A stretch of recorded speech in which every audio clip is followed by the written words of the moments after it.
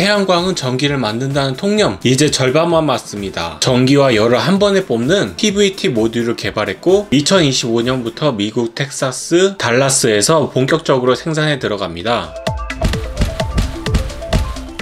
한 장비로 전기와 뜨거운 물을 동시에 비밀은 튜브형 모듈입니다. 내부에 흡수판, 실리콘 태양전지, 보로실리케이트 유리와 반사판이 빛을 모으고 전기는 셀에서 열은 흡수판에서 회수합니다. 같은 지붕 외벽 면적의 전기와 열을 동시에 생산해 에너지 밀도를 끌어올립니다. 특히 온수 수요가 있는 호텔, 기숙사, 헬스클럽, 교육시설에 유리하죠. 튜브 구조 덕분에 영화에서도 열 회수를 이어갈 수 있게 설계되었습니다. 텍사스 공장에는 약 300만 달러가 투자되며 2028년까지 15만 개의 튜브 생산을 목표로 내세웠습니다. 또한 2025년 말까지 미국산 공급망으로 전환해 IRA 인센티브 수혜를 노립니다. 기본적으로 태양광, 태양열 하드웨어는 30% ITC 적용 대상입니다.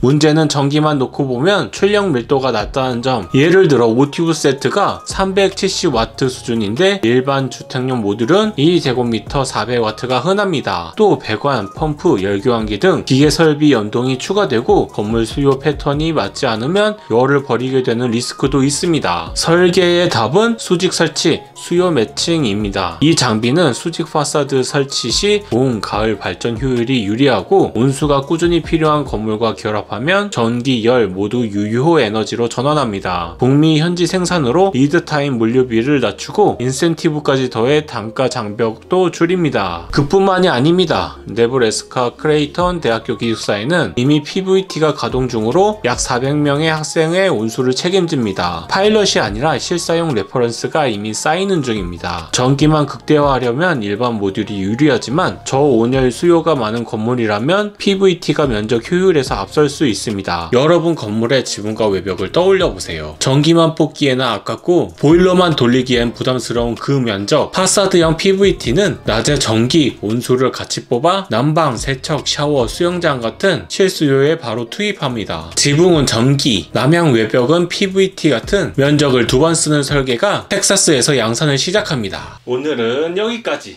이 이야기가 조금이라도 여러분에게 도움이 되었으면 합니다. 여러분의 구독과 좋아요는 영상을 만드는 원동력이 됩니다. 다음 영상으로 다시 만나겠습니다. 감사합니다.